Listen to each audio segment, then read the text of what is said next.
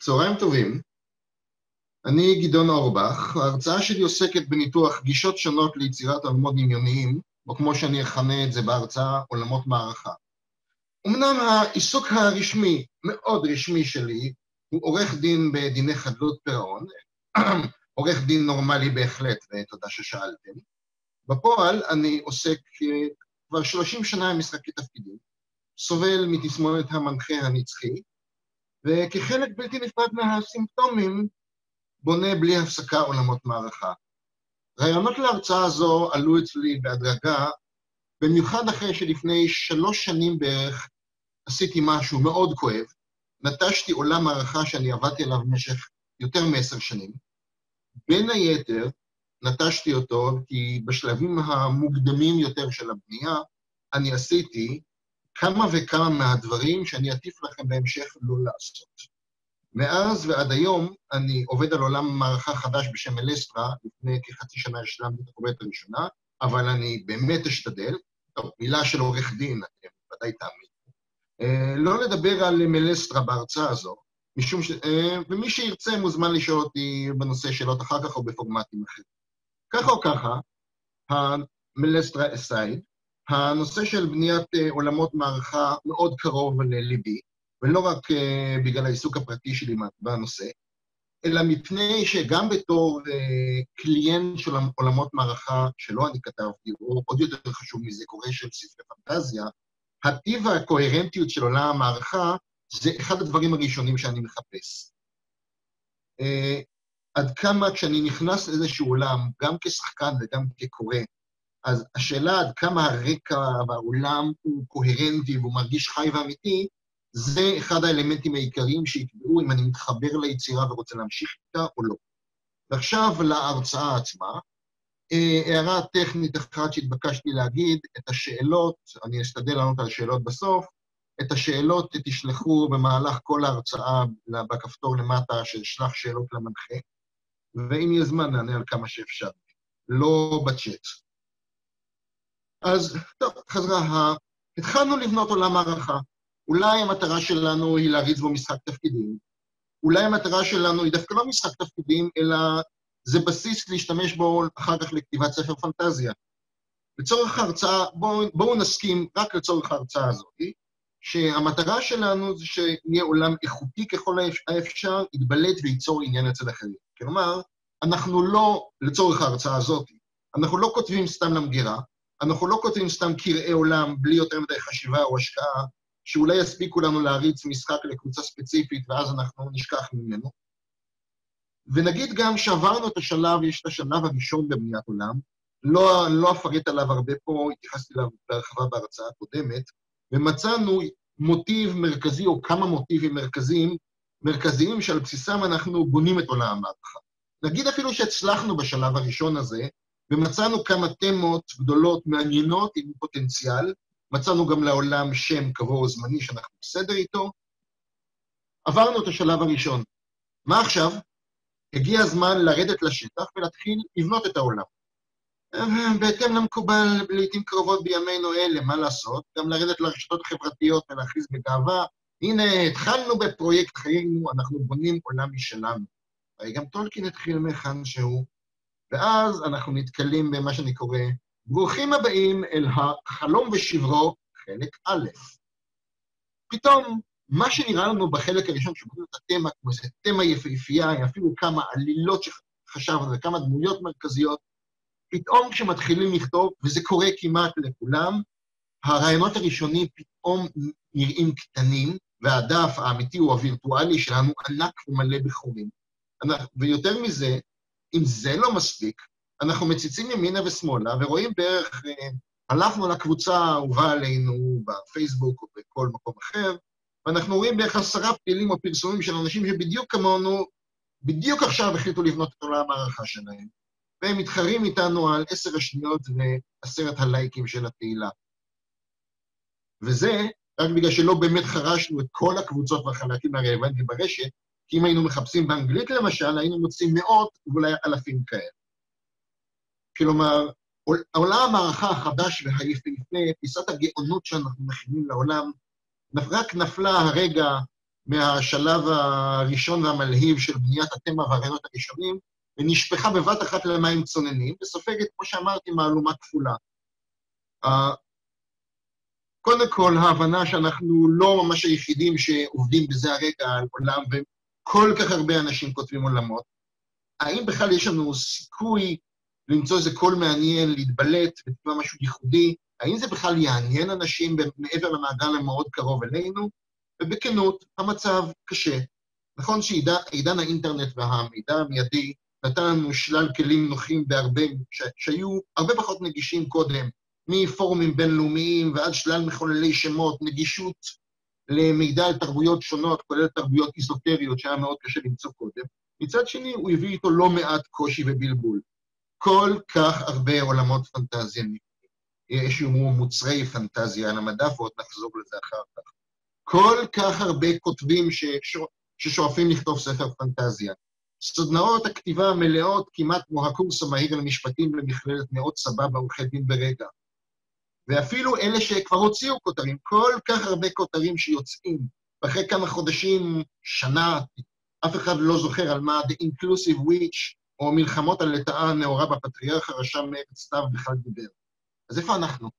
איפה, מה האיכות שלנו בתוך כל הנחשול הזה, שעידן המידע והאינסטנט מטיחים בנו באכזריות עוד לפני שכתבנו את העמוד הראשון? ואם אנחנו רוצים, עוד פעם, מה הסיכוי שלנו לתפוס קול מעניין ואיכותי, שלפחות במידה מסוימת יצא מכלל הבינבר דנבס. ותובנה בעייתית, של בעיה עוד יותר חשובה מהקודמת, הקודמת היא ברקע, אבל השלב, כמו שאמרתי בהתחלה, השלב הראשון שעברנו, כלומר, כתיבה, יצירת תמה כללית ומוטיבים, אפילו טיוטה לכמה מפות ורעיונות לכמה עלילות ודמויות מרכזיות, גם אם זה ממש, נניח שזה מצוין, זה מלא פוטנציאל, זה, ואני לא אשלה אתכם, זה פרומיל שבפרומיל, ממה שצריך לעשות, אפילו בכדי להתקרב לעולם מוגמר יחסית. ודאי עולם עשיר שמבוסס, שאפשר להתבסס עליו בכתיבה אחר כך, אפשר לדבר על לעשות את זה טוב. הרי הסכמנו לצורך ההרצאה שאנחנו רוצים לעשות את זה טוב. עבודה על השלבים הבאים זה מאות, לפעמים אלפים, אלפים על אלפים של שעות עבודה, אחרי שהברק וההתלהבות הראשונה נגמרו, ותמיד הם נגמרים מתישהו, ואבוי גם מעיין עליי מתדרדר מאוד. אנחנו עדיין עומדים ותמיד נעמוד בפני סכנה, שאחרי כל זה התוצאה הסופית תהיה מאכזבת, הרבה הרבה פחות איכותית ממה שדמיינו בהתחלה. מוקדם או מאוחר יקרה לה מה שקורה ל-90 אחוז בערך מהרעיונות, מהעולמות בבנייה, היא מסיימת בבית הקברות לעולמות מערכה, שם מאוחסנים אין ספור פרויקטים שבסופו של דבר נזנחו ולא יצא מהם כמעט כלום. ודאי לא בסיס איזה ספר פנטזיה שידברו עליו במשך uh, שנים. אז נשאלת השאלה, מה לעשות, ובעיקר, מה לא לעשות, כדי לצמצם את הסיכוי, שהוא גם ככה גבוה, להגיע לאותו בית קברות לעולמות שלא נשלמו. האם יש איזו שיטה שתעזור לנו בזה? או כפי שלכאורה רמזתי בשם, בשם של ההרצאה, שתי גישות מנוגדות שאפשר, שאפשר להתווכח או לקבוע מי מהן טובה יותר מהשנייה, ומי הם היוצר והמתכנת. אה, להבהרה, כבר בשלב זה, ולו מפני שכאשר העליתי את הרעיון בפעם הראשונה, היה מישהו שכבר הספיק להיעלב, לא, המתכנת, המתכנת עליו נדבר כאן הוא לא מתכנת בהייטק, אין לי שום כוונה להשמיץ בעלי מקצוע מסוים ולטעון שהם חסרי כישרון כתיבה, וכמובן, שום מתכנתים אמיתיים לא נפגעו במהלך כתיבת הרצאה זו. אז עכשיו אנחנו מגיעים לש... לחלק שני של ההרצאה שעוסקת בבניית עולם מלמעלה ומלמטה. דיברנו על התובנה, על האתגר המאוד קשה שהמרחבים העצומים והלא ברורים עדיין של העולם שלכם אה, מעמידים בפניכם, אחרי שהשלב התמה וההתלהבות הראשונית חלף, מגיעים לבנייה בפועל. מה עושים כדי לבנות את העולם מעניין, עמוק, איכותי, או לפחות להגדיל, למעשה להגדיל את הסיכוי, כי ביטחון מלא במאה אחוז ששיטה כלשהי תביא לכם איזה תוצר מופלא, אין. ואנחנו לא נפתור את עצמנו במשפטים שגם אם נכונים הם קלישאה ולכן לא אומרים כלום. אם יש לך כישרון אז יש, אם אין שום דבר לא יעזור, או תבנו דמויות עמוקות וסיפורים מעניינים. כולם רוצים, אבל איך? מהן שתי הגישות המתחרות, או יש לנו יריבות לבניית עולם? תשובה אחת שעולה לראש היא שמדובר בשתי השיטות uh, ההפוכות לכאורה, שכל בונה עולם ניצב בפניהם וצריך לבחור ביניהם במידה כזו או אחרת, בדיוק באותו שלב שאנחנו מגיעים אליו אחרי שגמרנו עם הרעיון הראשון. הגישה, הגישה הראשונה היא, אפשר לסכם אותה במשפט, בתוך חור באדמה חי לא הוביט. כלומר, בנייה למטה, שמתחילה בכפר או חבל ארץ קטן, עם דמויות ארציות ולא גדולות מדי, והדילמות הקטנות שלהם. אנחנו נבנה סיפורים קטנים על העיירה, על הנפח המקומי והבעיות שיש לו במשפחה, העסק הסודי והלא מחמיא של הכהן המקומי הצדקן. הבעיה של ראש העיר עם ראש כפר סורר פאתי האזור, או אם באמת רוצים ללכת לפגישה עם הגובלינים ביער הסמוך. וככל שנמשיך, יתגלו לנו חבלי ארץ נוספים, והתמונה תתרחב בהדרגה. סיפור יוביל לסיפור, יתגלו סיפורים יותר עתיקים, על, על זמנים עתיקים יותר, ושמורות אפלות ממחוזות מעבר לגבול, והעלילה והדמויות יצאו אליהם בהדרגה. הגישה השנייה היא הפוכה לגמרי. זאת בנייה מלמעלה. היא, היא תתמקד קודם כל בשושלות של האלים, מי היו הממלכות הקדומות, במיתוסים על אה, הגיבורים שזוכרים אותם גם אלפי שנה אחרי מעשה, וכמובן, מי שאוהב, העתקים, חפצי הקסם, האלוהים למחצה שהיו להם, במפות מפורטות עם עשרות ממלכות, דיאגרמות על יחסי סחר, זרימה של אנרגיות קסם, והרבה פעמים גם התמקדות באזורים הכי מסוכנים וקטלניים והארכי-ישנים ששוכנים בהם. כלומר, במקום להתחיל בפלך, אנחנו מתחילים בתיאורים מפורטים של מורדור ויחסי הכוחות בתוכה, או בונים קודם בפרטי פרטים את הסיפור של נומינור, ששקעה לפני שלושת אלפים שנה, האצילים שלה והשושלות שלהם, מה היה לכל אחד מהם ועוד. רק הערה חשובה כדי שלא נתבלבל. צריך להפריד את הדיון בין שתי הגישות המנוגדות לבין השלב הראשון, שעליו דיברנו קודם, של בחירת המוטיב לעולם. זה שאני בונה מלמעלה או מלמטה, זה לא סיבה להזניח או לשכוח, וזה לא מייתר את השלב הקודם של תמה. לא סתם בחירת הרעיונות המרכזיים והתמה נעשים בשלב הראשון, לפני שניגשנו לבניית העולם עצמו, ובכלל לפני שהגענו לשאלה אם לבנות אותו מלמעלה או מלמטה. אבל איך זה עובד? כלומר, אם אני בונה מלמטה, מהכפר הקטן, מבעיות, מבעיות המשפחת הנפח, אז איך זה בכלל מסתדר עם התמות, עם זה שיש לי תמות מרכזיות? זאת אומרת, אני הרי בונה התחלתי פתאום, כאילו, כאילו שכחתי אותם, שמתי אותם בצד, והתחלתי לבנות איזה אזור צדדי שמה לעשות, ודאי אם זה פנטזיה גבוהה או פנטזיה מדיבלית כלשהי. רוב האנשים באיזה כפר קטן, תסלחו לי, בקושי יודעים מה קורה מעבר הגבולות שלהם עכשיו, בטח לפני 200 שנה, ועוד פחות מזה לפני 2,000 שנה. אז יש כמובן השיטה המאוד לא מומלצת של הגיבורים ובעצם חצי מאנשי הכפר הם נכד של נכד של נכד של נכד של נכד של. אה, וכולם מתווכחים גם בפאב של הכפר על מה שקרה בחצר המלך הקדום של המערב לפני אלפיים שנים. אז מומלץ מאוד שלא. יש גם שיטות מעודנות יותר שלא עושות חוכא ואטלולא מהאינרסיה של העולם. מה באמת, איך באמת משלבים בנייה מלמטה עם זה שיש לעולם כמה רעיונות מרכזיים וגדולים? לא שכחנו את התמה הבסיסית. היא נמצאת מאחורי הקלעים ובשולי המחשבה של הכותב, גם כשאנחנו לכאורה ירדנו לאיזה כפר קטן ולנפח והמשפחה שלו. התמה יורדת לשטח בשלב הראשון בצורות של עקיפות יותר. למשל, ב- ליד הכפר הקטן הזה ביער יש חורבות עתיקות שיש עליהן כל מיני סיפורים בכפר, חלקם נכונים וחלקם לא נכונים, אבל בפועל זו הייתה פעם עיר עתיקה או איזה מבצר או אחוזה שקשורים לאחד הבתים הגדולים מן העבר הרחוק. או קחו מחלוקת בין שני כפרים, או אפילו איזושהי מריבה את, בין שתי קבוצות אתניות, שהיא למעשה, אמנם הניצים היום אפילו לא יודעים את זה, והם לא יודעים אפילו מה קרה לפני אלפיים שנה, אבל למעשה אותה מריבה זה גלגול של גלגול של איזה סכסוך ישן שעבר כמה, עבר כמה, עבר כמה שינויים במהלך הדורות. או יש לנו כל מיני צורות חרוטות במקדש, על השער של המקדש המקומי הקטן, שלמעשה הם נעשה גלגול לא מדויק של איזה שם או צורה של איזה ארטיפקט מן האגדות. השיטה הזאת, כלומר, השיטה הזאת, לטוב ולרע, דורשת מהכותב איפוק.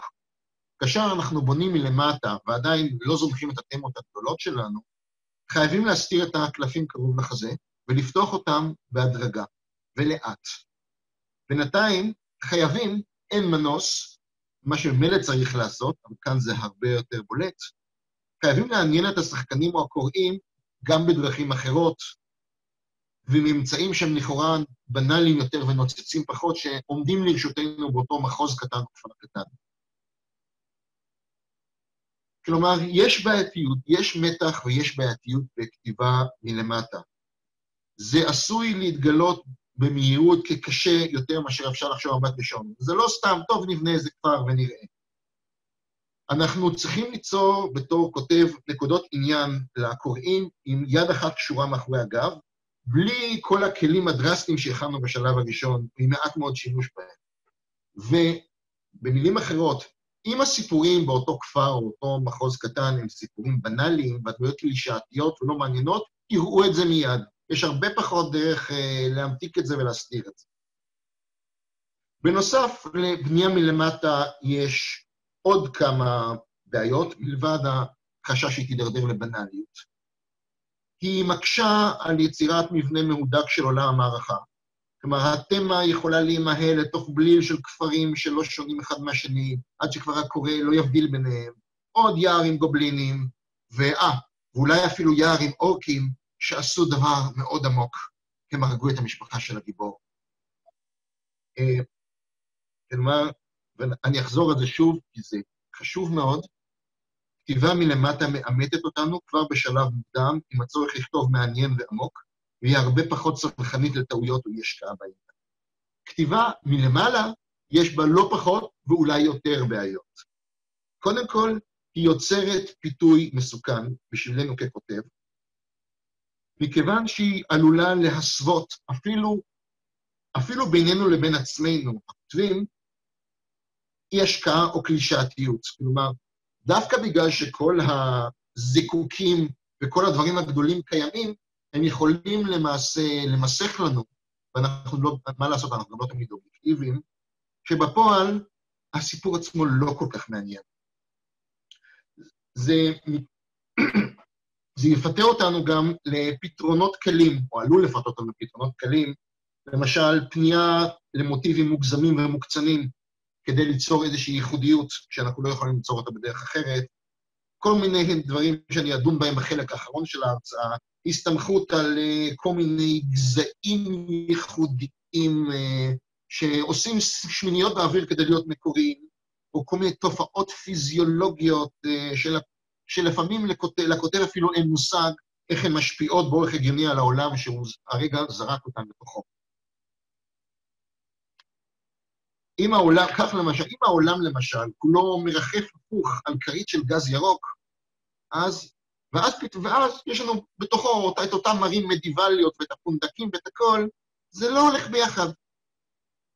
זאת אה, מה לעשות, כשאתה נמצא בתוך שקר רדיואקטיבי, האפשרות אה, לגדל חיטה תהיה קצת שונה מאשר ימי הביניים, וזה לא, זה לא יעזור לנו אם נכריז שגם החיטה היא רדיואקטיבית. אבל גם אם נימנע מזה, וגם אם ניזהר מכל מיני הקצנות שבטווח הארוך והבינוני יגחיכו את העולם שלנו, בנייה מלמעלה נתקלת בבעיה קריטית לא פחות, במגע, במיוחד במגע הראשון שלה, עם חלק לא מבוטל מקהל השחקנים והקוראים. למשל, אני, עכשיו, אני לא כותב, אני שחקן שעכשיו מתחיל להתעניין בעולם, דמות ורוצה לבנות דמות ברמה ראשונה. אני לא, הדמות שלי היא לא, בתקווה, הנכד של הנכד של הנכד של המלך הראשון של הכתר הקדום של המערב, והיא לא הנבחר של האלה הירוקה, שהיא האויבת של האלה הכחולה, שאת הסכסוך ביניהם תיארנו רק ממש בקצרה בבניית העולם. נשבע לכם, לא, לא יותר מעשרה עמודים.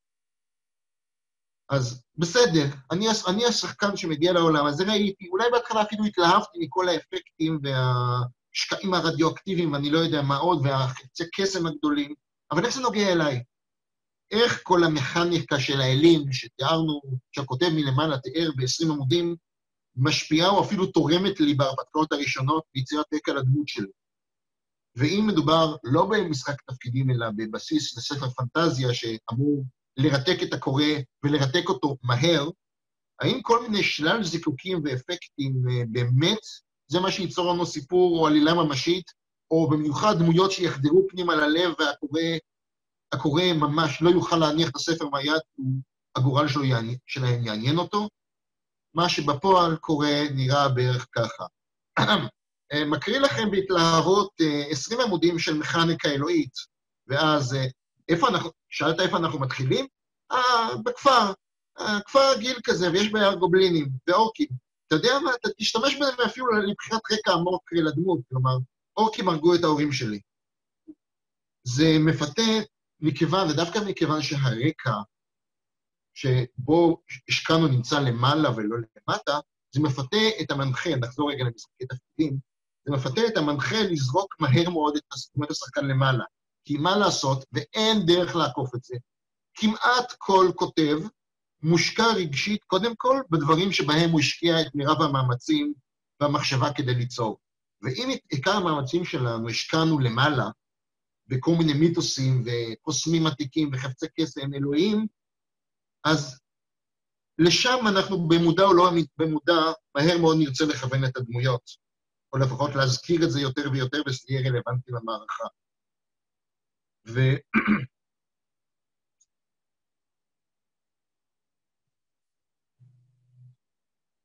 ומכאן נובעות uh, שלל בעיות אפשריות, שכל אחת מהן יכולה לפגוע פגיעה קשה מאוד בעולם המערכה שלכם. בעיה ראשונה, כמו שאמרתי, נטייה לבעוט את הדמויות למעלה. זה קודם כל זה גורר לא פעם שימוש בטרופים, שאולי פעם הם היו בסדר, היום, תסלחו לי, לדעתי, הם יצאו כבר מכל החורים. למשל, נערי, אתה הנבחר, אתה זה שהאלים יעדו לנערי, אתה תקוותו האחרונה של העולם. עד שתוך כמה, מה נקבל? תוך כמה פרקים או הרפתקאות, נקבל זה בחורצ'יק בן 16, שהוא הופך להיות הדבר שבו אלים בני עשרות אלפי שנים, או כל מיני כוחות רבי עוצמה אחרים, ממלכים ומחשבים אדירים ועד השדים בגיהנום, כלומר, לא אותם שדים שעסוקים מדי בגידול צמחים והאכלת ברווזים, תודה רבה, עוסקים בו באובססיביות, כאילו ההרפתקאות הראשונות של אותו נער, שכ... שפיזית הוא בקושי יכול כרגע להתמודד עם חבורת שודדים, אותן הרפתקאות פתאום הופכות לתוכנית הריאליטי של האלים ודומיהם. מה שמוביל אותנו לבעיה מספר 2, יצירת צורך הולך וגובר לשימוש סיטונאי במחסל הידוע לשמצה של כל העלילות, בשמו האחר, דיה אקס מכינה. למה אנחנו נגררים לזה? מכיוון שאם האלים, או כל מיני כוחות עתיקים, מעורבים במערכה של אותו, אותם גיבורים צעירים או הרפתקנים חסרי ניסיון, ואפילו השדים בגיהנום כבר יודעים את השם שלהם, אז למה שהארכי נבל לא יעשה את הדבר הכי מתבקש, שפשוט יסובב עליהם, על הגיבורים את הנעל? אז, אה, ומכיוון שאנחנו לא רוצים שזה יקרה, אז מתפתים לאותה דיה אקס מכינה וכל מיני אה, פתרונות מאולצים שמאפשרים לדמות להינצל בש, בשנייה האחרונה מכוחות הרבה יותר חזקים ממנו.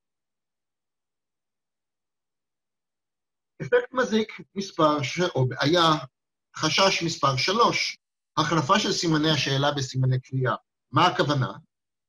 לדעתי, אפשר לחלוק עליי, אבל זאת דעתי, חלק מהיופי והפוטנציאל למורכבות ודילמה בעולם טוב נובע מאי הידיעה ומהספק. למשל, אנשים בעיר חלוקים, לפעמים משפחות, אה, משפחות מתפרקות, אה, חברים הופכים לאויבים אה, בגלל מחלוקת על אמונה בדת או באל מסוים, או בכל דבר אחר. אבל אם כבר מראש התחלנו מהאל ולא מהמאמינים, אנחנו כבר יודעים בוודאות מי האל הטוב ומי האל הרע, איזה אל קיים ואיזה אל הוא לא קיים, מה בדיוק קורה בין שני אלים יריבים. העלמנו את המסתורין, לא פעם פשוט החלפנו אותו בסיפור שנהפוך אותו איך שנהפוך אותו בסיפור פשטני.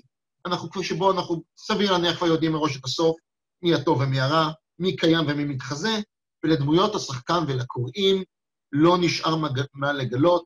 קשה מאוד להפתיע אותם. אגב, רמז קטן, זה לא יעזור אם תכתבו במודגש לפתע.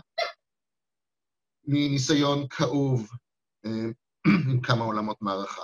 בעניין הזה הייתי מפנה אתכם לקחת עצה משחקני ברידג'. סימן ההיכרות של שחקן ברידג' מתחיל, שעוד לא למד הרבה, זה שהוא משליך את האסים ואת הקלפים הגדולים שלו מיד עם תחילת המשחק כדי לקבל נקודות מהירות. שחקן ברידג' טוב לעומת זאת מתקשר במרומז עם הפרטנר שלו ומחכה לשלוף את, האס, את האסים שלו בשלב מאוחר יותר במשחק, כאשר השליפה הזאת היא אקטיבית. חשוב לדעתי גם לכתיבה. עוד בעיה מספר 4, שהיא פחות רלוונטית למשחקי תפקידים, יותר רלוונטית לספרי פנטזיה. צורך בהרצאות ארוכות כדי להכניס את הקורא לעולם. בנייה מלמעלה מעודדת לא פעם עולם שנוחת עלינו בבת אחת עם שלל הפרטים שלו, עם שלל מאבקי העוצמה שלו, עם הרבה פחות רקע בסיסי והדרגתיות שמאפשרת לקורא היכרות מדורגת, ומה שהכי חשוב לנו, היא כשרות רגשית לעולם. במקום זה אנחנו מקבלים, אה, מקבלים בסיטונות קשר כתיבה שנקרא שיחת המשרתים, כלומר, משתמשים בדמויות רקע באופן, באורח לא אמין כדי לתת לנו הרצאות ארוכות ומשעממות אה, על היסטוריה של העולם ועל הכוחות שלו ועל הטכניקה שלו, זה לא עובד. אז לסיכום ביניים של החלק הזה של ההרצאה, מה ראינו? ראינו שאף אחת מהגישות, אף אחת משתי הגישות האלה לא מושלמת. לכל אחת יש בעיות, את הבעיות שלה, והן יכולות להיות בעיות קשות. אחת כוללת בעיה ש, של סיכון מוגבר להתפתות לכתיבה בעייתית ולהקצנות ולעוד לאלמנטים מזיקים אחרים, אבל זה לא אומר, ממש לא אומר, שכתיבה מלמעלה היא דרך פסולה או ירודה. וגם לגישה מלמטה יש את הבעיות שלה. אז, אה, ופה אני מגיע לחלק הבא בהרצאה שלי. מה הפתרון? מי מהגישות עדיפה? איפה הם היוצר והמתכנת שהבטחתי לכם? אם הגענו לכאן אה, בלי תשובה לשאלה של נוסחה מנצחת לבניית עולם, אולי ננסה להציץ רגע לכמה יצירות מפורסמות בתחום הפנטזיה ולראות איך הכותבים שלהם מכירים לנו את העולם ולכאורה מתמודדים עם הבעיה הזאת של בניית עולם והכרת עולם לקוראים. נתחיל בג'ורג' מרטין, האיש האגדה ושלל הדמויות המתות, שמבקש להכיר לקוראים את העולם של ווסטרוס. ג'ורג' מרטין נוקט במבנה קלאסי שבו הוא מתחיל בטעימה מלמעלה. בפרולוג של הספר הראשון, לפני שאנחנו פוגשים את הדמויות המרכזיות בכלל, אנחנו פוגשים בפרולוג הזה בחטף ובאורח מאוד כואב ואכזרי, נו, אמרנו, מה? את אחד הכוחות הגדולים שקשורים לתמה של עולם המערכה. פטרול חמוש של כוח שנקרא משמר הלילה נתקל באחרים, שהם יצורים דמונים אגדיים שקשורים בקרח עם כלי נשק קטלניים ומעל הכל היכולת להקים את הקורבנות שלהם בתור מתים מהלכים. ספוילר שהוא לא ספוילר, כי אני מדבר על הפרולוג, הפטרול הזה לא חוזר כדי לספר. אבל מיד אחר כך, במעבר מאוד מאוד חד, העלילה מתנתקת לגמרי מהסיפור הגדול הזה, וזורקת אותנו לקצה השני, אל הלמטה של הלמטה. חיי הנעורים של מי שיהיו בהמשך חלק מהגיבורים המרכזיים, במקום שאומנם אחוזה של לורד, אבל הוא מבודד יחסית. כלומר, אנחנו עוזבים את האחרים ואת ההתקפות, ההתקפות ואת האיום שלהם מעבר לחומה הגדולה, ולמעשה, חוץ מכמה הבלחות פה ושם, אנחנו לא נראה אותם עד הספר השלישי. במקום זה אנחנו צוללים לתוך הדמויות בחיי היומיום של הילדים של משפחת סטארק. היחסים בין הילדים, בין הסובב, שיחסית מוגן שעוטף אותם, ודאי מוגן יחסית למרטי, לעולם של מרטי. עלילה שמתחילה עם משהו כמו קטן וחמוד של גורי זאב, אינים שנמצאים בשלג, וכל אחד מהילדים מקבל גור ומתחיל לגדל אותו בצלמו ובדמותו, רגשי נחיתות של הבן הממזר כלפי הילדים, המתח בינו לבין הראייה החוקית של אבא שלו, הילדה אריה מתמרמרת על הלימודים הנשיים שנכפים עליה, ואגב כך, מרטין מכיר לנו בהכרה את וינטרפל, האנשים שלה, וקצת מההיסטוריה ומהאגדות שמקיפות אותה, בהדרגה. ואפילו יופיעו שם פה ושם אגדות על האחרים, אבל כאן הם פתאום אגדה. אין להם שום ממשות, אגדה שזו זקנה מספרת לילדים לפני השינה. אבל זה, כמובן, שזה רק בכאילו. אנחנו הרי ראינו שהאחרים קיימים עוד לפני שהכרנו דמויות. זה עומד ברקע, מדי פעם נראה כל מיני הבלחות, שמרטין מנצל אותם כדי ליצור מתח שנבנה באיטיות בין מה, ש, מה שאנחנו כקוראים יודעים והגיבורים מפספסים. כלומר, האזהרה זה אמיתי. בהמשך, אחרי כמה פרקים, ואחרי שהכרנו את וינטרפל ואת הדמויות, הדמויות הראשיות שלה, העולם הגדול והמסוכן מתחיל לחדור בהדרגתיות לתוך עולם, לתוך אותו עמק ראשוני ומוגן של ילדי משפחת סטארק, ומכניס אותנו לאט לאט אה, לנבחי הפוליטיקה והמאבק בין הבתים, שזה, שזאת התמה הגדולה השנייה של העולם המרטינאי. ומי שמכיר, מכיר, הביקור, הביקור של המלך והמינוי המכובד המסוכן שהוא נושא איתו, התאונה של ברן, שאין פה מתח מיד, היא לא, היא לא תאונה, והמשך והמשך, ג'ון עוזב ועובר, עוזב ומחליט לעבור למשמר הלילה, שזה אגב כמובן המקום הכי קרוב לאחרים ולאיום המוסווה שלהם, וכך הלאה. אז מה ראינו? ראינו טעימה אחת שהיא רבת עוצמה, אבל שימו לב, היא לא הרצאה על מה האחרים וממה הם בנויים, ומה הם עשו לפני שמונת אלפים שנה, זה טעימה מאוד סיפורית, ויחסית דלה בפרטים, שמיד אח... על התמה הגדולה, מיד אחריה זורקים אותנו לבנייה קלאסית מלמטה.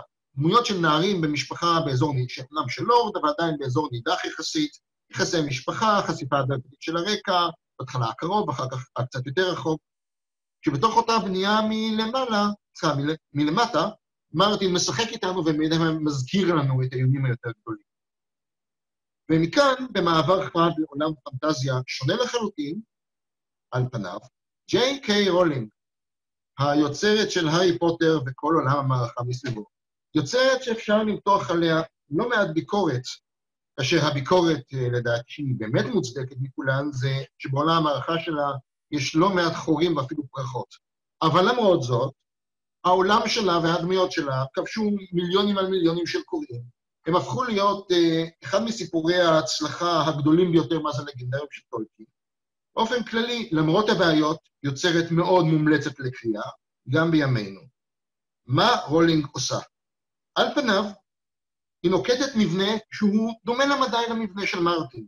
פרולוג עם טעימה מלמעלה, הרבה, כמובן, זה עדיין רולינג ולא ווסטרוס, הרבה פחות ברוטלית מאשר זו של מרטין, אבל, אנחנו מדו... אבל הפרולוג הזה מכיר לנו מיד את התמה המרכזית שתלווה את כל שבעת הספרים.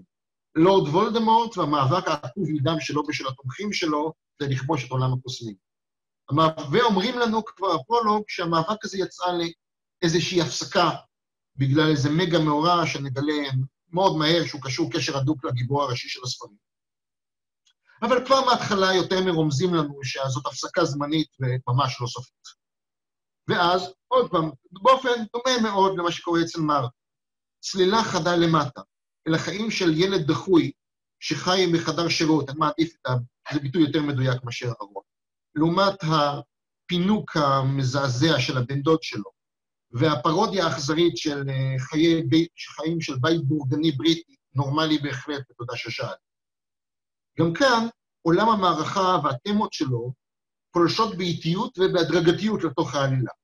בהתחלה, מתוך כל אותו סיפור אה, על, אה, על ילד דחוי בתוך הבית הנוראי הזה של הדרסלים, מגיע הגילוי הלא, מש, הלא ממש מפתיע שהארי הוא קוסם, ואז מתחילה החשיפה הדרגתית, הדרגתית שלו בכלל לעולם הקוסמים, ואז באופן יותר ספציפי להוגוורטס.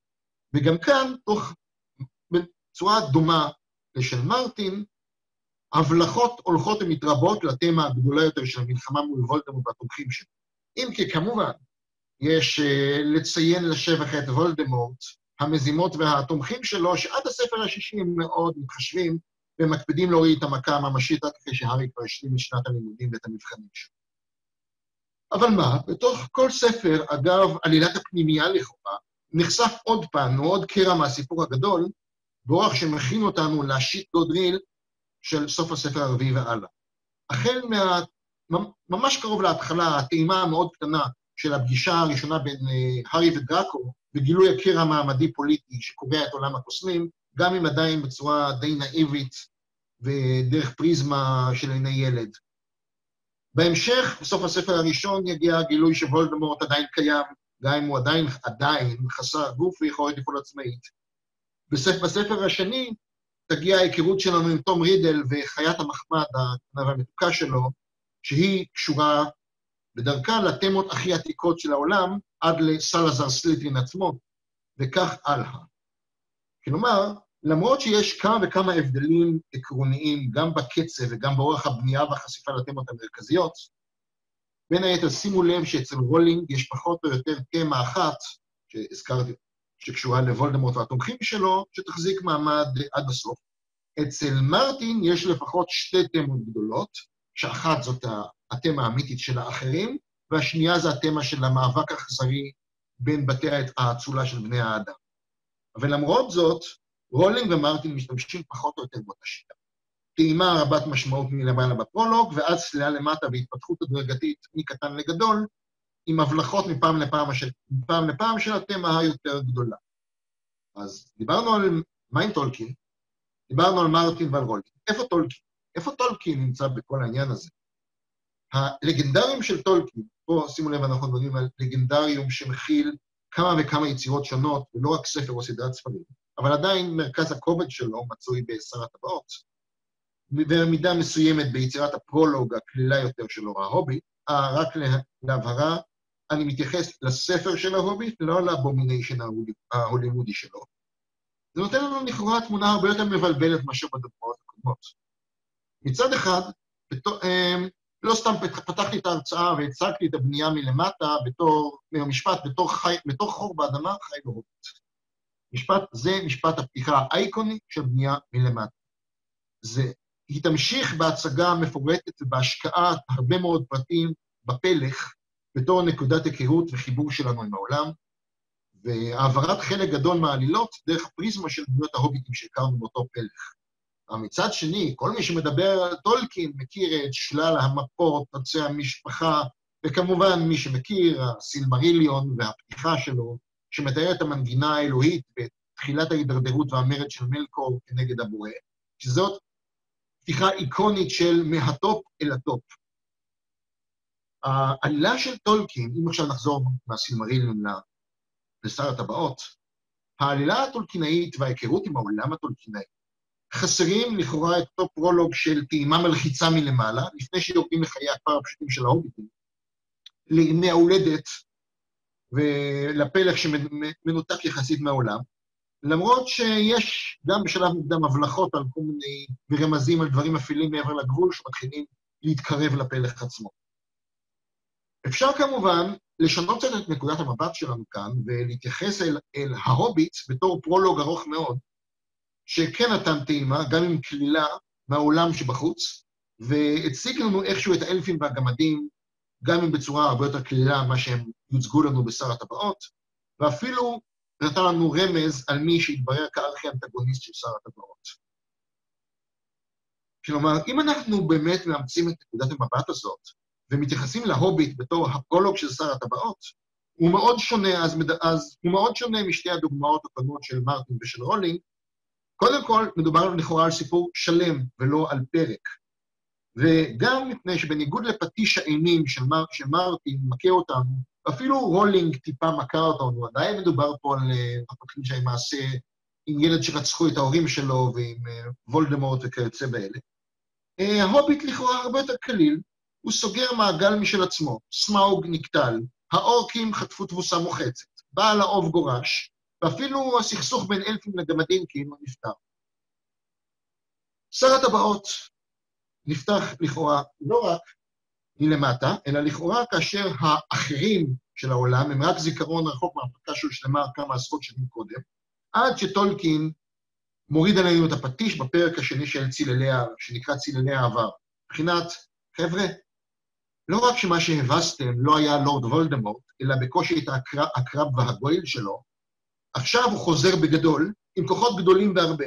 אה, ועוד עוד דבר קטן, הצעצוע הקטן והשימושי, המקבילה הבלבועית לגלימת ההיעלמות של הארי פוטר, אה, זה חפץ שטני שבין היתר זה משמש כמו ביפר, שמושך עליך, אתה הגיבור, את הכוחות הכי גרועים של האויב, אה, הם כבר למעשה בדרך. אז כבר אין יותר להיעלם בנוחות מהעין וליעדות אבנים בעכבישים מטופשים אגב שיר חמוד ומתגרה. כלומר, מה שלקח לרולינג ארבעה ספרים לעשות כדי להגיע לשיט גוטרל, טולקין מנחית עלינו בפטיש כבר בחלק בפרק השני. אגב, הרצאה היסטורית מפורטת למדי על אה, עולם המערכה, בדגש על סאורון, מורדור והטבעת, אם כי שוב, הוא עושה את זה בחינניות הרבה יותר מאשר כותבים היום נותנים לעשות את זה, ומשתדל לעשות את זה בצורה סיפורית. אבל בלא ספק המסר זה בסוף הפרק השני, better start running. לכן בפרק הבא, פרק השלישי, הפרשים השחורים כבר יגיעו עד מעון בד. ומה שהתחיל כטיול של הוביטים אה, בפלך, המפורט והחמוד, הופך למרדף מפחיד. וטולקין, גם הוא נוקט, לא נוקט באחת הגישות בטהרתה, אלא נוקט במבנה של עירוב וקפיצה בין למעלה למטה, בין הפלך לבין מורדו. רק שכאן, החל מהפרק השני, זה הרבה יותר עמוק כלפי מעלה מאשר ביצירות הקודמות שלו. הפרשים השחורים והצל של הטבעת תופסים תפקיד מרכזי עם הבלחות שלה למטה בדמות תיאורים של הפלך, שרובם אגב נחשפים, אגב מנוסה והגז והעצב הזה של אנחנו בורחים ומשאירים את כל מה שמוכר וקטן וחביב מאחורה. הפלך, הפונדקים שלו, ארוחת הפטריות אצל העיקר מגות ועוד. אבל עדיין, טולק, שימו לב, טולקין מגביל את זה. הוא לא משליך אותנו בפרקים הראשונים, למשל, לנבחי הפוליטיקה של רוהן וגונדור, שיתפסו תפקיד מאוד חשוב אחר כך. אנחנו מזה, מהתמה הזאת, נקבל טעימה ראשונה ומאוד מוגבלת רק באמצע הספר הראשון במועצה של אלרון, ורק בספר השני אנחנו באמת נחשף, והלאה באמת נחשף אליהם בצורה יותר ישירה. טולקין של שר הטבעות, של טולקין, פשוט של שר הטבעות, לא של הסילמריליון, אה, גם לא מייגע אותנו בהרצאות אה, של, של, על האלים והכוחות הקוסמיים. איפה הוא עושה את זה? הוא עושה את זה בהחלט בסילמריליון, אבל מה זה הסילמריליון? סילמריליון זה בפועל, רובו זה אוסף טיוטות שטולקין עצמו לא סתם ככה לא הוציא לאור עד יום מותו. בעיניי, אני בספק כמה הוא היה שמח מהדרך בהם הוצאו לאור לאחר. אז אם כבר הסילמריליון, לא סתם סיימתי את החלק הזה של ההרצאה בהזכור שלו, על הטיוטות השונות והאלים שלו, משום שכל הסקירה הזאת שערכתי לכם, של עולמות פנטזיה מפורסמים ואיך הם בונים ומכירים לנו את העולם, היא קצת מתעתעת. למה היא מתעתעת? היא לא מצליחה לפתור את הבעיה שלנו באמת, בגלל שהיא מציגה לנו כבר מוצר מוגמר. יש לנו הרבה פחות מידע, וגם הוא לא מאוחר ולא תמיד אמין, על איך באמת הוא נבנה. יש לנו, כמובן, יש לנו סיפור נחמד על אה, רולינג המדוכאת שיושבת ברכבת ואז חושבת על נער שמגלה שהוא קוסם, וממנו מתחילה למשוך מהדמיון של העובדות נוספות שהולכות ויוצאות אותו תוכן. אולי עוד נחזור לשיטה הזאת בהמשך. ויש לנו מידע על טולקין הצעיר, שדווקא רצה לכתוב מיתולוגיה לאנגליה ויצר אה, אוסף של סיפורים ספק מיתיים, הרבה מהם מאוד כלילים, שהם התעבו והרצינו רק הרבה יותר מאוחר. למשל, כמה מכם יודעים ששר האופן למעיין, סאורון, ששוטף עם צבעותיו האורקים שלו את כל היבשת, כמה מכם יודעים שהגלגול הראשון שלו היה חתול גדול ומרושע ששמר על המטבחים של מלקו, וברן, ברן בתור גיבור הערים עליו. האם זה לא דומה קצת הרבה יותר לסרט מצויר קליל מאשר מה, שאנחנו מקבלים בשר הטבעות? מרטין בכלל מתחיל מכיוון אחר, הוא בכלל מתחיל על הדרך שלו כהיסטוריון, שמאוד התעניין בתקופת מלחמת השושנים המציאותית באנגליה. ואז קיבל את הרעיון של להפוך את ההיסטוריה, גם הוא מקבל את הרעיון של להפוך את ההיסטוריה של אנגליה למעין מיתולוגיה, הוא מעתיק את התמה של מלחמת השושנים לתוך עולם פנטזיה גדול ושונה הרבה יותר מאנגליה, אבל נושא בהחלט חותמות שלה, גם של אנגליה וגם של ארצות אחרות באותה תקופה. אגב, הערה מעניינת שלצערי אין לי זמן לפתח אותה כאן, כי היא פחות נוגעת, פחות נוגעת להרצאה הזאת, זה השינוי, גם טולקין וגם מרטין משחקים ביחסים בין מיתי וקסום לבין ריאלי ומציאותי ודומה יותר לתקופה שלנו, או לתקופות היסטוריות קדומות, אבל טולקין עוסק בדעיכה של המיתי, של המיתי והקסום לעולם שיותר דומה לשלנו, ומרטין עוסק דווקא בהתעוררות שלהם והדרך בה הם עושים קאמבק ו havoc בעולם שמתחיל כעולם medieval־י, אבל ריאליסטי ודומה יחסית לעולם שלנו. הרבה יותר מאשר העולם של רולינג או של טולקין. אז מה, אבל מה אפשר באמת ללמוד מאותם סופרים גדולים, ובעיקר מטולקין, על בניית עולם? כאן אני מבקש להכניס לדיון, לעזוב לרגע את היצירות הסיפוריות, ולהכניס לדיון כתבים אחרים ופחות מוכרים שטולקין השאיר אחריו, שבסיומם, בין היתר, סיפור קטן, מאוד שונה משר הטבעות, אפילו מההוביט, שעושה את מה שטולקין בדרך כלל הטיף שלא לעשות, והוא כולו אלגוריה. הספר שנקרא על סיפורי פיות, רובו כתבים עיוניים, שעוסקים בפרשנות של טולקין למושג סיפורי פיות. באלה אנחנו לא נעסוק בהרצאה, מעבר לנקודה אחת שטולקין מדגיש שוב ושוב. טולקין מטיף, למעשה, בין היתר גם לכותבים, למה שהוא קורא הוצאה של הפנטזיה מחדר הילדים. מה זה הוצאה של הפנטזיה מחדר הילדים? אני רואה את זה כאנטיתזה של המשפט המאוס ששומעים היום לא פעם כאשר אתה, אתה מעביר ביקורת וטוען שמשהו בסיפור או בסרט פנטזיה לא הגיוני. מה אתה אומר לי שזה הגיוני? שזה לא הגיוני. יש בעולם קוסמים ודרקונים, ואתה מדבר לי על היגיון. טולקין הוא האנטי-תזה למשפט הזה. הוא מדבר על רצינות, קוהרנטיות ואימרסיה בעולם שבו, שהוא חי בו, שבו פנטזיה, אופיות, היו שם נרדף לא פעם ללולילו של חדר הילדים הקטנים, אישונים מצחיקים עם כנפי פרפר, שעושים קסם כדי שילד יאכל את ארוחת הערב, הוא מבקש להחזיר את האינרסיה, כלומר את הדרישה להיגיון עלילתי פנימי, ולקיחה של העולם הדמיוני ברצינות, כמו כעולם של, עם קיום מדומה, וטולקין תובע פה מונח מאוד מאוד חשוב, שנקרא בריאה משנית. זה עולם עם קיום שפועל לפי חוקים סדורים משלו, יש בו אפשרי ולא אפשרי, והוא, והוא גם מחובר למקורות מיתולוגיים, והוא לא נועד כדי להצחיק ילדים. המאבק הרעיוני הזה בין טולקין לבין תיאוריות שהוא לא אהב, מגיע לשיא בפואמה שטולקין כותב, המיתופאה. היא לא פואמה סיפורית בחרוזים, אלא היא מעין מניפסט. היא כל כולה כתב סנגוריה על המיתוס ועל העולם הדמיוני, כאשר היא עונה והיא מתווכחת עם מי שטולקין רואה כמודרניסט יהיר, שבז לכל מה שאי אפשר להגדיר בהתאם למדע ולגישה מדעית, דרוויניסטית וגם דטרמיניסטית, שהייתה מאוד אופיינית בסוף המאה ה-19 ובתחילת המאה ה-20, וטולקין עונה לו, אני אשתמש פה רוב הזמן בתרגום האנגלי, כי לדעתי הוא יותר קולע למה שטולקין באמת התכוון לומר.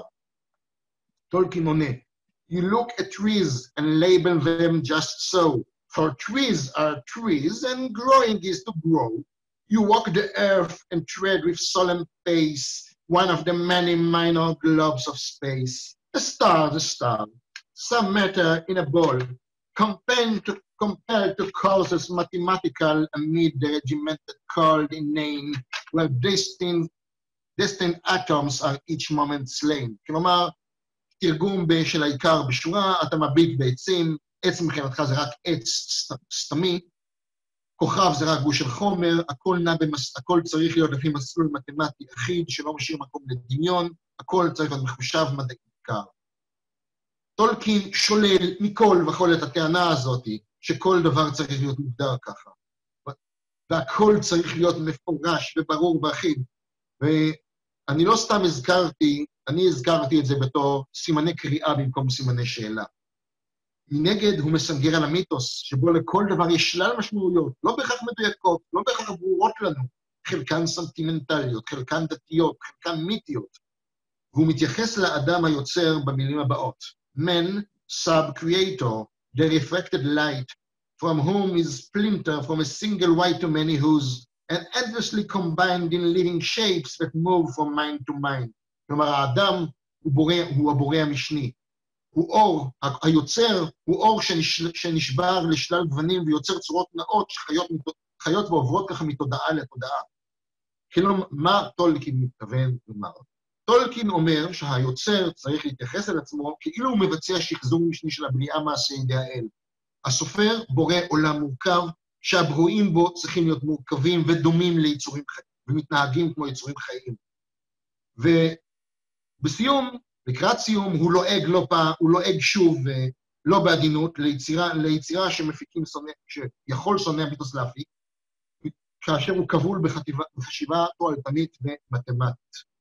It is not they that have forgotten night or bid us flee to organize delight in lotus isle of economic bliss, forswearing soul to gain a silky kiss and counterfeit at that machine produced bogus seduction of the twice seduced.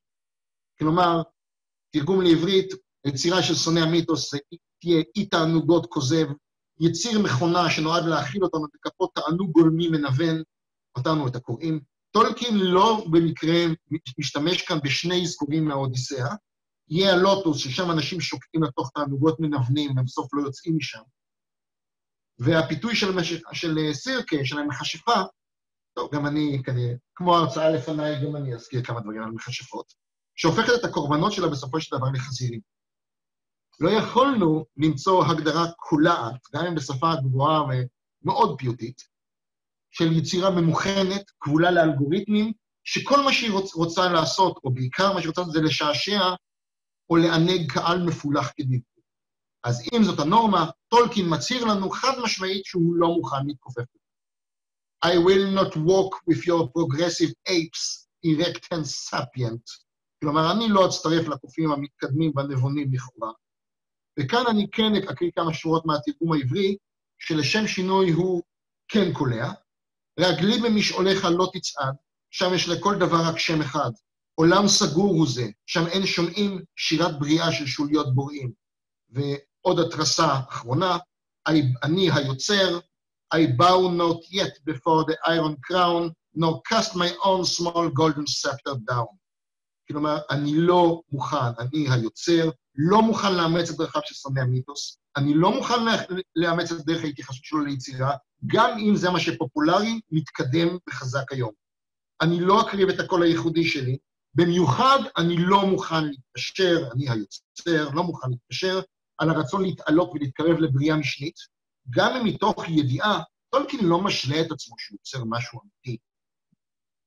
טולקין פועל מתוך ידיעה שהשרביט שלו, השרביטון הזהב הקטן הוא רק חיקוי קטן לשרביט של הבורא האמיתי, ובסופו של דבר הוא עדיין יוצר מחוזות ודמויות דמיוניות.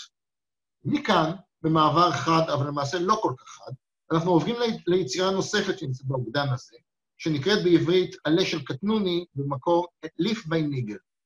עלה של קטנוני הוא סיפור קצר שלא מנסה אפילו להסתיר את העובדה שהוא אלגוריה. שלא בכל החל...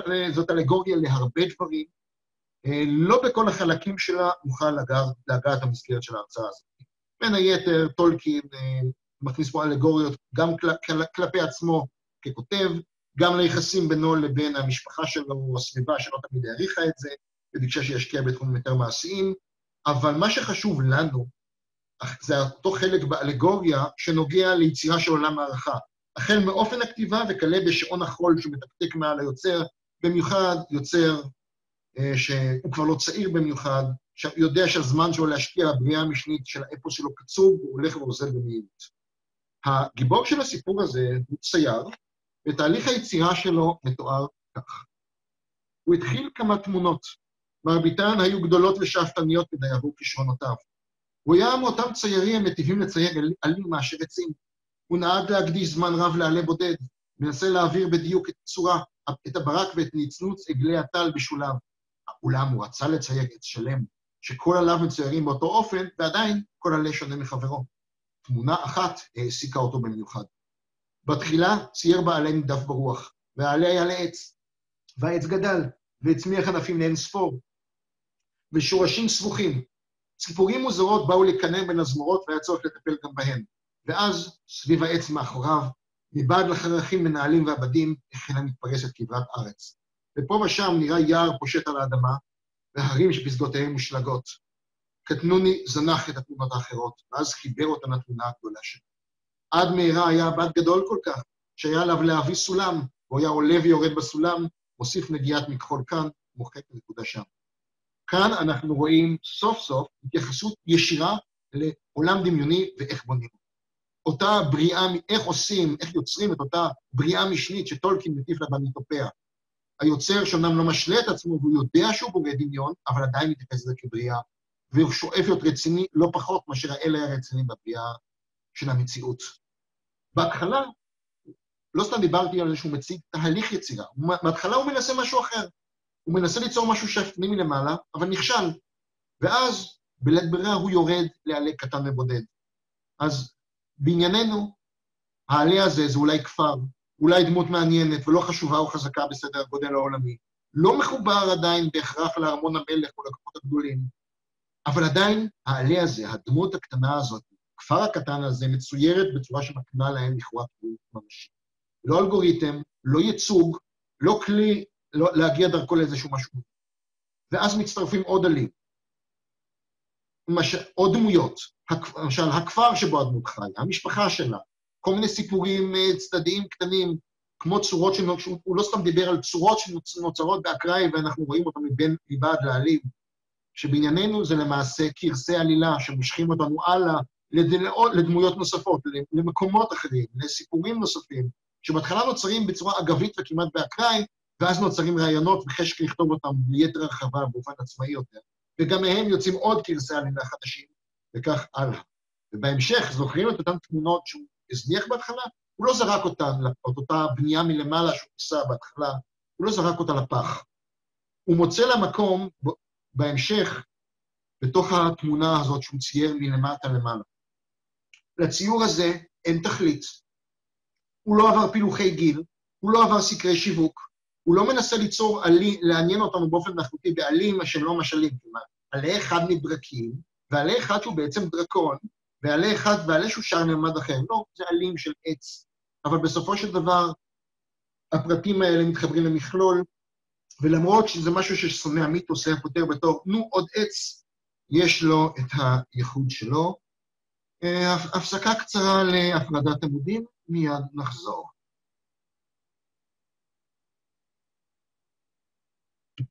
וכך מתואר הדבר הקרוב ביותר לסיום של היצירה.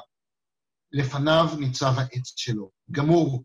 אם ניתן היה לומר דבר, אם ניתן לומר דבר כזה על עץ חי שעליו נפתחים וענפיו צומחים ומתנועים ברוח שקטנוני הרגיש או ניחש את קיומה פעמים רבות כל כך, ופעמים רבות כל כך לא הצליח לציירה.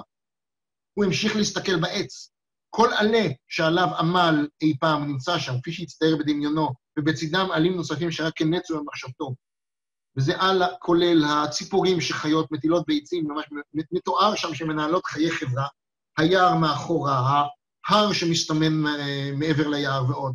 כלומר, פתאום מאוסף הדמויות והסיפורים הקטנים שהתחלנו איתם, נוצרו שלל קרסי עלילה, שיצרו סיפורים, יצרו דמויות, יצרו עוד מקומות, והנה לנו עולם הערכה. אבל כאן אנחנו נאלצים לחזור אל שובו של שונא המיתוס. הכירו בבקשה את חבר המועצה טומקינס. שונא המיתוס לא נפקד מהאלגוריה.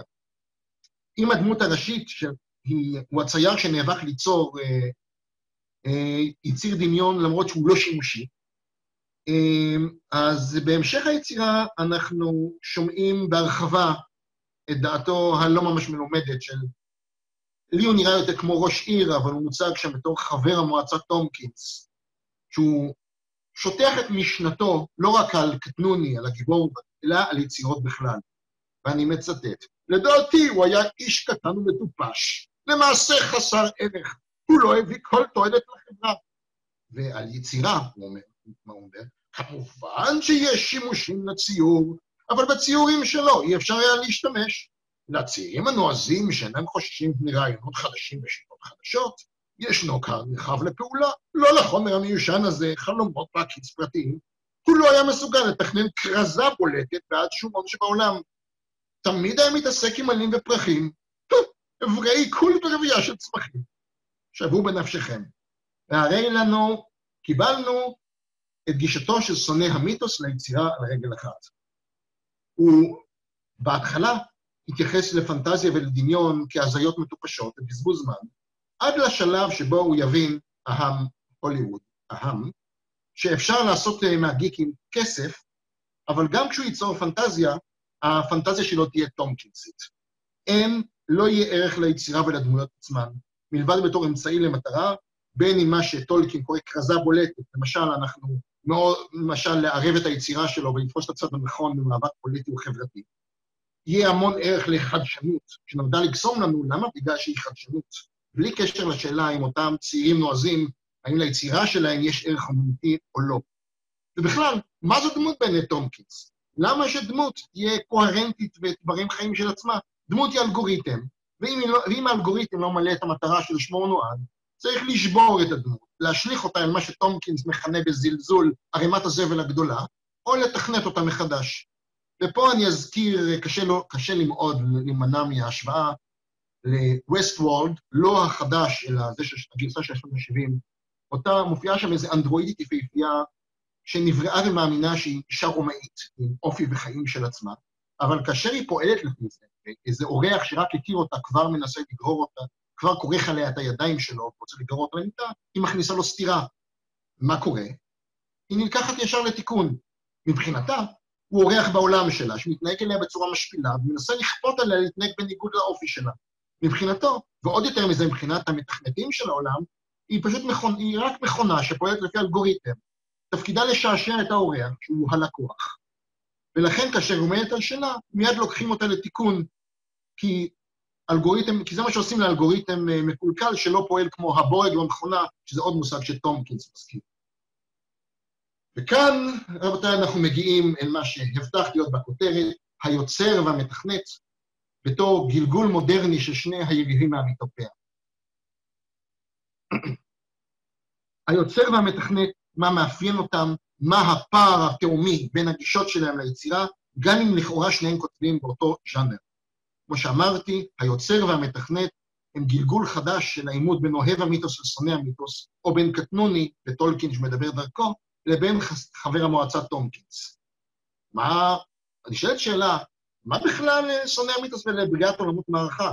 זה מופרך כאילו שדוד ורנון, שאגב, בין אם רולינג הכירה את המיתופיה ובין אם לא, הוא ממש גלגול מובהק של שונא המיתוס. זה מופרך כאילו דוד ורנון יתחיל פתאום להתעסק לנו בתכנים שמועברים בהוגוורטס. אהם, הארי פוטר והשיטה הרציונלית, אהם. שונא המיתוס הרי בנוי על בסיס הרציונליסט, או המודרניסט הקנאי של סוף המאה ה-19 ותחילת המאה ה-20. זה שנוהם בבוז על, על דמיון ועל כל דבר שהוא לא מדעי או שימושי. זה שעצם העיסוק בפנטזיה נראה לו ילדותי או התרפקות על דמיונות לא רציונליים. זה שמקונן, אוי ואבוי, הילד שוב משחק מבוכים במקום ללמוד מתמטיקה, או לפחות אם הוא היה הולך למסיבות עם האנשים הנכונים, להשיג קשרים, אוי. אז לצערנו, או לשמחתנו, שונא המיתוס השתכלל בינתיים. כמו שראינו בעלה של קטנוני, חבר המועצה טומקינס לא שולל אומנות באשר היא, אבל אומנות צריכה להיות שימושית ומוכוונת מטרה, למשל מטרה פוליטית, או לפחות למתג את עצמה כחדשנית צעירה ונועזת כדי לעורר עניין.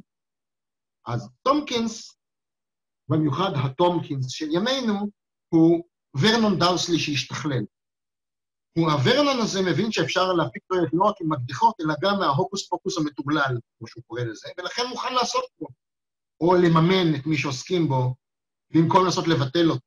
אבל הוא לא איבד שום דבר מהחשיבה הטומקינסית שלו. לשום חלק בהוקוס פוקוס אין קיום, מלבד שניתן להפיק ממנו תועלת, בין אם למטרה פנים-סיפורית או חוץ-סיפורית, כלומר, היכולת לשווק את היצירה ולמתג אותה. לכן טומקינס יחפש את הצעירים הנועזים שייצרו פנטזיה לפי אלגוריתמים, יעשו ממנה כרזה בולטת, יכניסו, לתוכה את הייצורים המתאימים, יכתבו אותה לפי פילוחי שוק, שימכרו כמה שיותר מרצ'נדייז ועוד. טומקינס, טומקינס המודרני נפגוש באולפן בהוליווד, או בהוצאת ספרים עם הגרף, יושב עם הגרפים שלו. הוא זה שיפסול תסריט כי אין בו ייצוגים, או יותר גרוע מזה, הוא, יפסול, הוא ידרוש לפשט ולטפש את המסר של התסריט, כי הקוראים מגיל כזה וכזה לא מסבירים מורכבות. הוא הכותבים של וורקראפט, באמת חשבתם שתהיה הרצאה שאני לא אסביר את וורקראפט. אה, הוא הכותבים של וורקראפט, ששברו ממש ברגל גסה את הקוהרנטיות ואת המורכבות של דמויות שהקודמים שלהם כתבו. למשל, הייתה דמות של דרואידית אלפית שנבנתה במקור כמו דרואידית אפלולית ואכזרית, אה, כמו ש... בניחוח קלטי, הפכו אותה למחבקת עצים צווחנית והיסטרית של בת 16, וטענות אליהם על הייצוג, שהוא באמת ייצוג פוגעני ומעליב. טענות אליהם, לא אליי.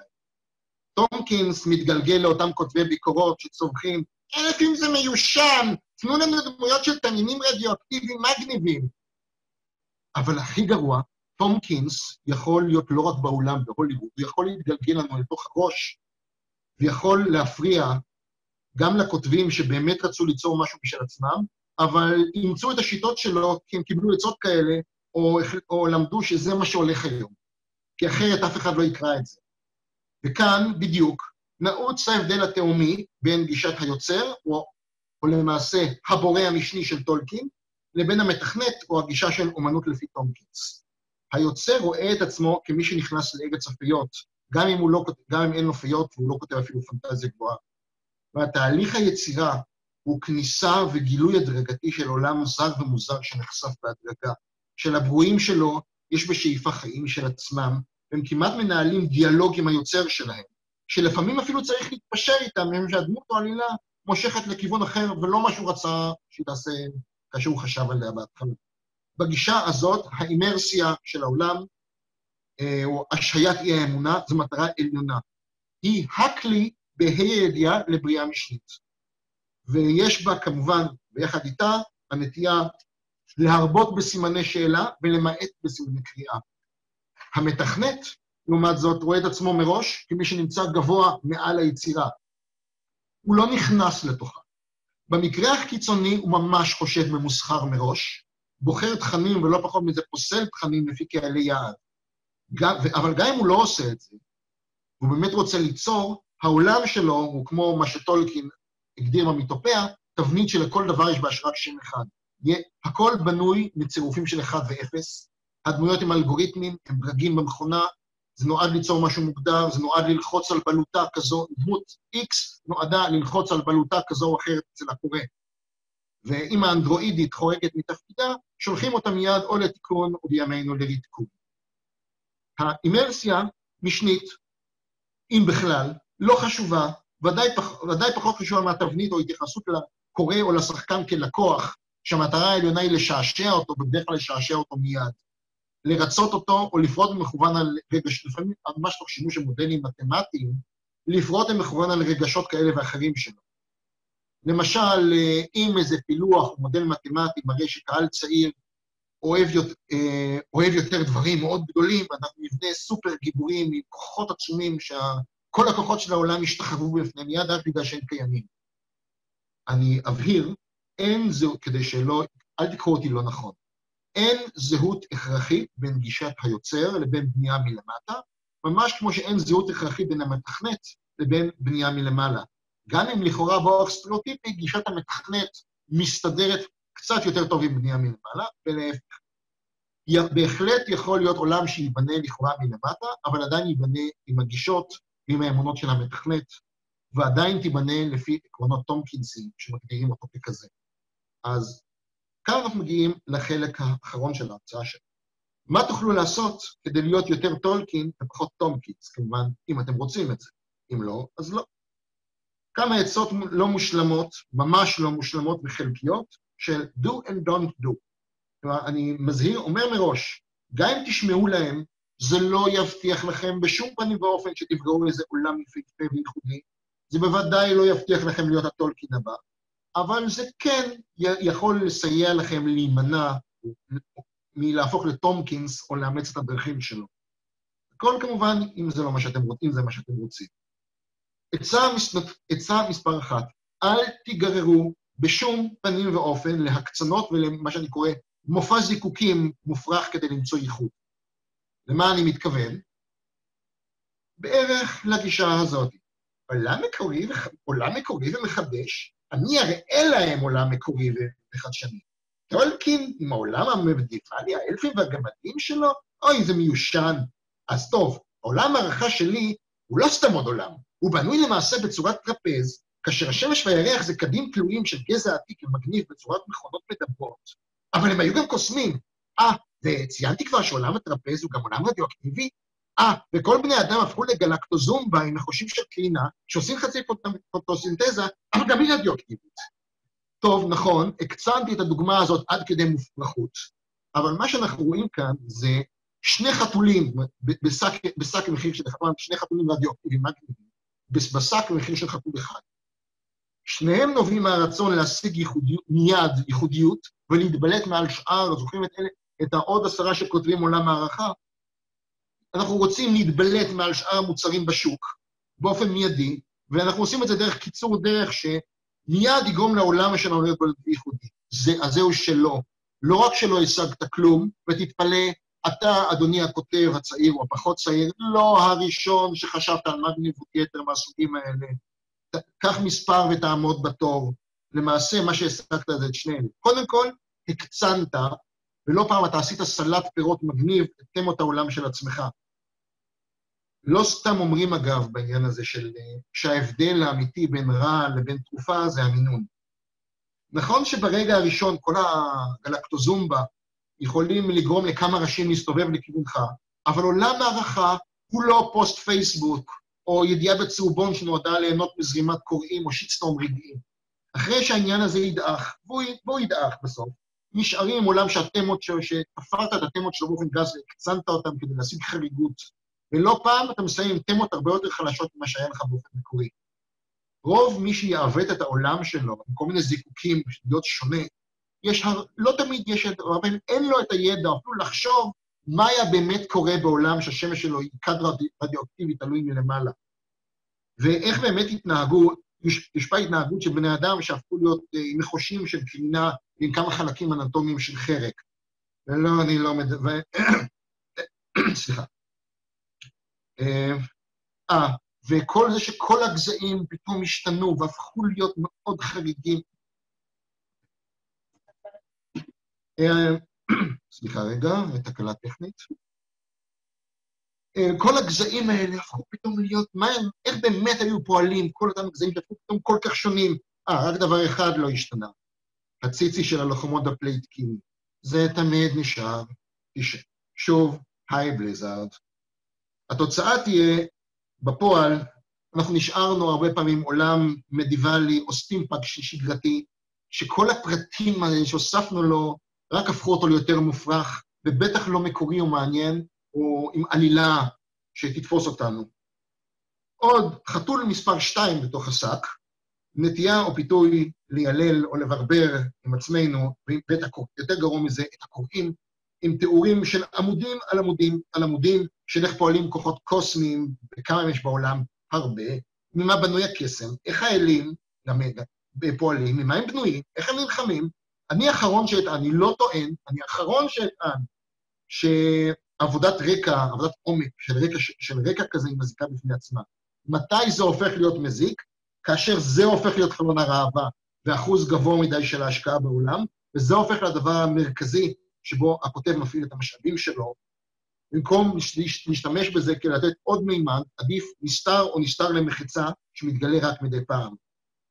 וזה הרבה פעמים N0, זה בא על חשבון רובד עיקרי של דמויות ושל סיפורים ועלילות משקעות שהקורא יכול באמת להתחבר אליהן. אל תעשה מספר שתיים. זהירות אנכרוניזמים. תיזהרו, מאוד תיזהרו, לא לערבב תקופות או טכנולוגיות תקופות שונות, באורח שלא מתיישב עם ההיגיון, גם אם זה נראה מגניב.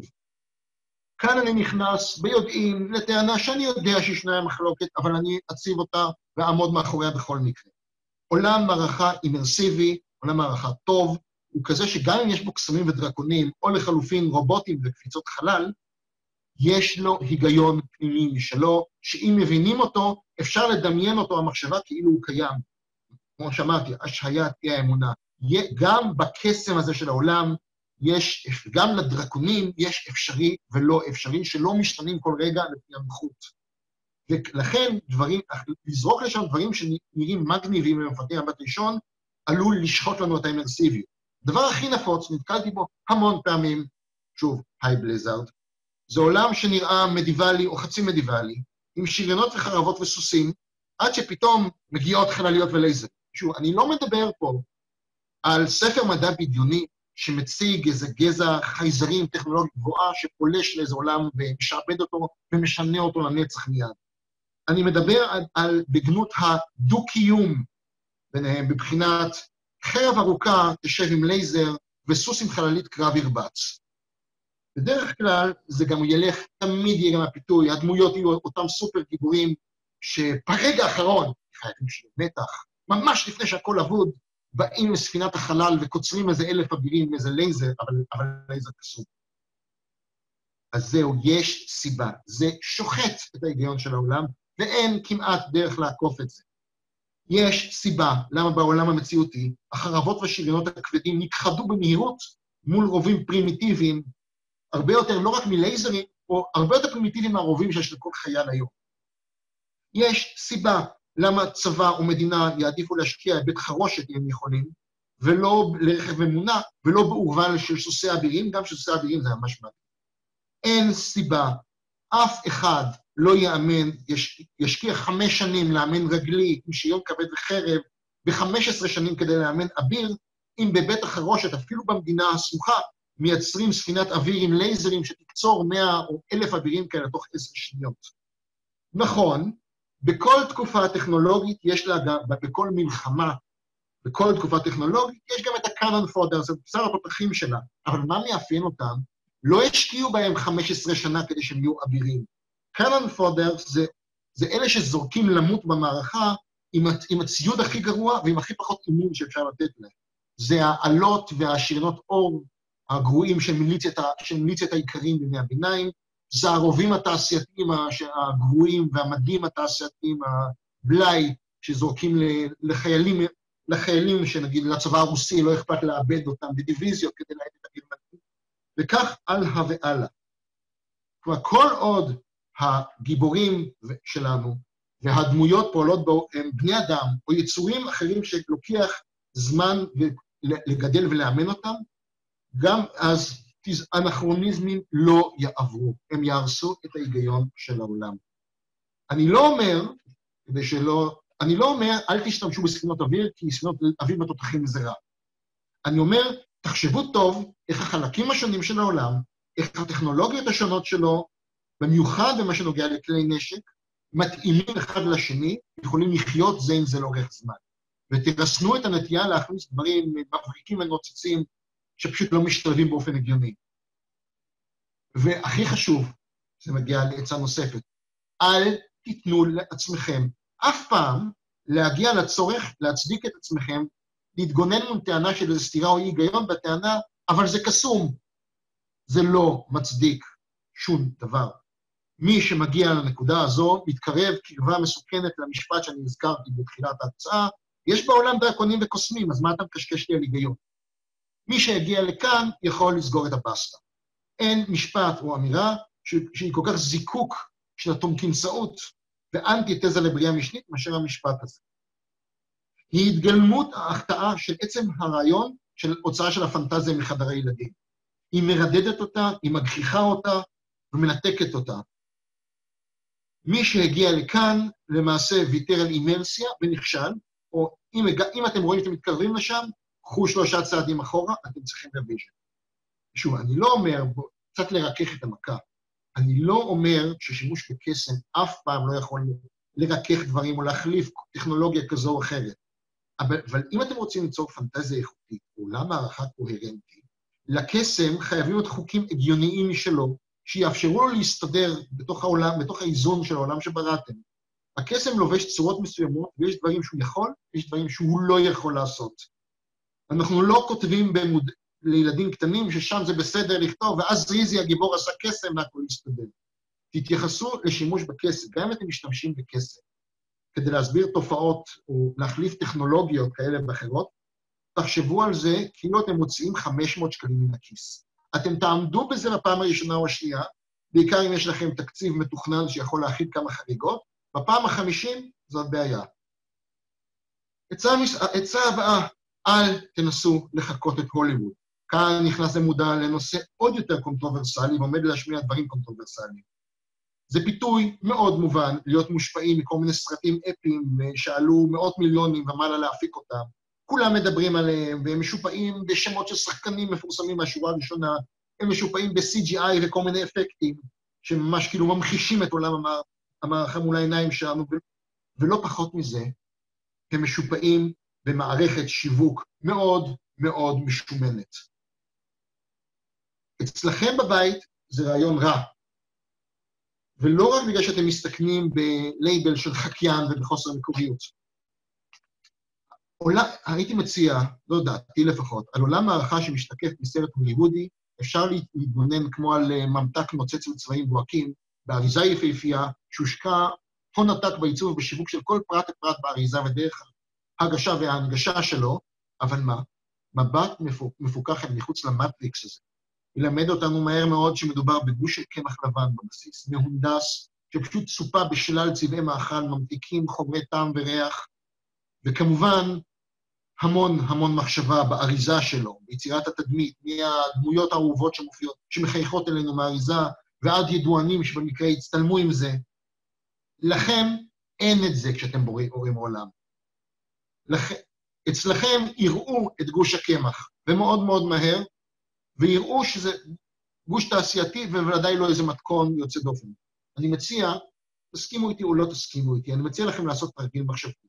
קחו איזשהו סרט, או סרט של מרוויל, או, או סרט של מרוויל, או פרודוקט ספינות טרף, או פרודוקט אחר של אה, הוליווד. אמ, נסו בדמיון שלכם להפשיט אותו מכל הדברים הנוצצים, מהשמות של הכוכבים, ובלי, מה-CGI, תחשבו רק על העלילה שלו, על איך בנו אותו. מה הייתם אומרים אם סתם איזה חבר אלמוני, לא הוליווד, איזה חבר אלמוני מהקהילה היה בא אליכם עם עלילה כזאת? אם מה, ש, מה שתיצרו זה, מה שהתגובה שלכם תהיה גלגול עיניים, עשו לעצמכם טובה גדולה, תוותרו על זה. וזה מביא אותנו לעצה אחרת. הכותבים הגדולים, אלה שנזכרים הרבה מעבר לחמש דקות של התהילה שלהם, שונים מאוד אחד מהשני מהכל, כולל, תתפלאו, בדעות פוליטיות, דתיות וחברתיות, אבל מה שמשותף לכולם זה שהם כתבו מהדמיון והכישרון של עצמם ולא לפי תכתיבים פופולריים של התקופה. למעשה, הרבה מהם, ולא רק בתחום הפנטזיה, קחו את החל ממרק טוויין, אוסקר ויילד, בולגקוב, המשך בטולקין עצמו, לא פעם הם זכו, למקל... אכלו מרורים וזכו למקלחת צוננת מאנשי המקובל והראוי של התקופה שלהם. הוליווד ומתקני הנעליים, כלומר, סליחה, היוצרים שלה, או אפילו הוליווד והרחבות שלה, כל תאגידי יצירה האמריקאים מנטפליקס ועד מחשבי החוף, הם הכל חוץ ממצע לכתיבה חופשית. למעשה, אם נזכרת לכתוב משהו עבור הוליווד, אתה הכל חוץ מכותב חופשי. אתה תוגבל, אם אתה כבול בידי סדרה ארוכה של הגבלות, אה, סימוני ויאל ייצוגים, פילוחי שוק וכל, וכל מיני דברים אחרים, שהמרחק בינם לבין יצירה חופשית זה בערך למרחק בין ביל בן סרח לאיש של.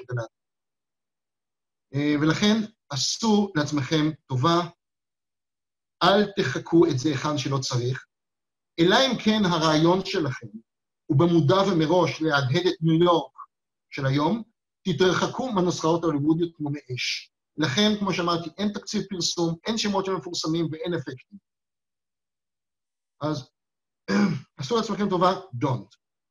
הדבר הבא, אני קצת אקצר, כי נראה שהזמן שלי באמת להיגמר, אל תנסו למצוא חן בעיני כולם. מי שמנסה מראש לאלף את הדמיון שלו כדי למצוא חן בעיני כולם ולהתאים את המוצר שלו לכולם, החל מ-inclusion ושערי בשרה מגוונים, ולא רק בעניינים אתניים, יש דברים אחרים הרבה, הרבה יותר קריטיים, בסוף ימצא את עצמו עם יצירה מרודדת ומסונטזת, שבהיעדר 300 מיליון דולר תקציב של פרסום ו-CGI יהיה פשוט מת. אין יצירה שתיצרו, ודאי כזו שיש בה passion ודברים מקוריים של עצמכם, שלא ימצא, תמיד יימצא המבקר, תמיד יימצא האדם ההוא בקבוצה שיטען שזה זבל, תמיד תימצא איזה קבוצה, או ימצא איזה קבוצה לטעון שזה פוגעני. איך אני אומר, אם לא מצאתם אף אחד שמטיח בכם את זה, יש סיכוי שהיצירה שלכם כל כך ממוצעת וכל כך לא אומרת כלום, שאף אחד אפילו לא טרח להיעלב. זה לא נועד, רק להבין, זה לא נועד כדי לטעון שאסור לכתוב אנשים עם גוון עור כזה או אחר, או אסור לכתוב להט"בים. ממש לא. זה טיעון, הטיעון שלי הוא שכתיבה מאולפת לפי מערכת איסורים ומסדו וסימוני V, תיצור כמעט תמיד, או תמיד, תוצרים בינוניים, מטיפים וחוזרים על עצמם. התשובה לזה היא לא תכתבו רק גברים לבנים, או תכתבו רק זה, תכתבו רק טעות. התשובה היא, תכתבו מה שעולה לכם מהדמיון, את מה שיש לכם, לכם היוצא רגש כלפיו, וגם ידע מספיק עליו על איך שהוא עובד, ויש לו, וזה הכי חשוב, מקום הגיוני בתוך העולם שלכם. אין שום פסול בעולם שהוא אירוצנטרי במובהק, ולא צריך לתקוע בו ייצוגים שהם מלאכותיים שלא צריכים להיות בו, ממש כמו שאין פסול בעולם שמבוסס על תרבויות ואפוסים אסייתיים. וגם לשם לא צריך לתקוע את מה שלא שייך. למשל, דמויות מסין במאה השליש של המאה השלישית, שמתנהלים כמו אמריקאים מודרניים. אתם בונים תרבות דמיונית, תבנו אותה באורח קוהרנטי, מזה תגזרו, רק אם אתם רוצים, ורק אם זה מעניין אתכם, ואתם מבינים את זה מספיק, מה המצב של כל מיני קבוצות בה. מישהו שלמשל מהדהד, מתכתב או מהדהד את יוון העתיקה, ברור שהוא צריך לכתוב להט"בים, ברור שזה לא רק מקובל, אלא זה, ה, זה נחשב העילית והטופ של הטופ של החברה. אבל גם הלהט"בים האתונאים לא מתנהגים לייצוגים האמריקאים של להט"ב של היום. עכשיו, תתרחקו מהחובה לסמן וי על דברים. תכתבו על מה שמעניין אתכם. אז נכון, כנראה הסוכן של נטפליקס יצקצק בלשונו ולא ירצה איתכם קשר. רמז, אתם גם ככה רחוקים ממנו. ודאי בשלב הזה. לחשוב עליו בשלב הזה משול לאותו משל על הזוג העני שהתקוטט והרס את הבקתה שלו, בריב על מה, הוא, מה הם יעשו ב, ומי יחלוב את הפרה שעוד אין להם, ומי יטפל בעדר שעוד אין להם, ומי יוציא אותו לסיום. אז מה כן מומלץ לעשות? קודם כל, לשלב בעדינות בין בנייה מלמעלה לבין בנייה מלמטה. כמו שהצייר בעלי של קטנוני, אמנם הוא הבונה מלמטה, הוא לא זרק את התמונות הראשונות שלו, שניסו להציג תבנית מוכנה ומראש וגדולה יותר, אלא הוא הניח אותם בצד, ובו העת שילב אותם בתוך uh, המכלול של הבנייה המשנית שלו. כך מומלץ לנהוג ברעיונות גדולים של יצירה מלמעלה. לא, לא למחוק אותם, לא להתעלם מהם, ודאי לא לבנות עולם בלעדיהם, לשים אותם בתת-מודע, בשולי המחשבה שלנו, בזמן הנכון, להתחיל למשוך אותם ואיטיות פנימה. ותיארתי לכם, אני לא אחזור על זה, תיארתי לכם את האפשרויות כמו הכתובות על המקדש, שלמעשה הם רמז, ציור לא מדויק של איזה ארטיפקט, והסכסוך האתני, שהוא למעשה גלגול של גלגול של איזה סכסוך עתיק, אפילו מהצדדים לא, לא זוכרים אותו וכך כאן. עצה מספר שתיים, לשמור על סימני שאלה במקום סימני קריאה. לא הכל חייב להיות בנוי וידוע. אין חובה לדעת מאיזה חומר קוסמי מורכבים האלים, אם האלים בכלל קיימים או לא. ודאי לא אם הדרך שבה סוגדים להם נכונה או לא, או מייצגת אותם או לא. לא חובה לדעת מי הכוח, בהכרח מי הכוח הטוב ומי הכוח הרע. איך בדיוק התחיל הסכסוך, ומי משרת כל אחד מהם. איך בדיוק התנהל הסכסוך המיתולוגי שהתחיל מלחמה לפני אלפיים שנה, וכך הלאה. חלק גדול מהיופי של העולם זה המסתורין שלו. אל, תז... אל תשמטו את המסתורין. העובדה שאין תשובות מדויקות להכל, שיש מקומות ודברים שלא יתגלו, שמידע עובר לא פעם באיטיות ובאורח לא מדויק, ואי אפשר לדעת מהכפר שלנו מה קורה בדיוק באותו רגע בחצר המלך, ודאי לא מה שקרה שם לפני מאות שנים. אמ, זה נכון גם לרמה של החשיפה של העולם לשחקנים או לקוראים, גם כדי להימנע ממה שדיברתי עליו קודם, מהרצאות טכניות משעממות של הצפ... בהצפת מידע. אבל זה חשוב גם ברמה של המרחב היוצר בינו לבין עצמו. תתמקד בעץ שלך. אל תחשוב על איך בדיוק הקרינה משפיעה על הפוטוסינתזה של העלים, ומי בדיוק ברא את היער. ואל תכריח את עצמך להשקיע בתבניות גדולות וטכניות של ממה זה עשוי ומה בדיוק קרה בכל מקום בשלב מוקדם. להפך, תסתפק בנקודות כלליות ועמומות שמחוברות לתמה ולרעיונות היותר טובים שיש לך בראש. אל תמלא בכוח את כל המפה בארצות ואת כל הדף בנוסחאות, במיוחד אם אין לך עדיין רעיונות טובים. הפרטים האחרים וההשלמות, כמו בעלה של קטנוני, יבואו בהמשך, ולא פעם כתגובה לדברים שתיצור בהמשך, ואתה עכשיו, בשלב הראשוני, אפילו לא יודע שתיצור אותם בהמשך. ומעל הכל, את זה שאיתה אני אסיים, קחו את הדמויות שלכם ברצינות, תביטו בהם, תשאלו אותם שאלות בגובה העיניים, במקום להסתכל עליהם מגבוה, בתור איזה ברגים או אלגוריתם שיש לו איזה תכלית שאפשר להגדיר בגרף. אל תשברו אותם. אם הדמות שבראת לא רוצה לשעשע עכשיו את הלקוח, או למלא בדיוק תפקיד מוגדר שעכשיו לכאורה מועד לה, תאזין לה, במקום לשלוח אותה לתיקון ולמעוך את האופי שלה. הרבה בעיות אפשר לתקן. דמות שנשברה, כמעט ואי אפשר.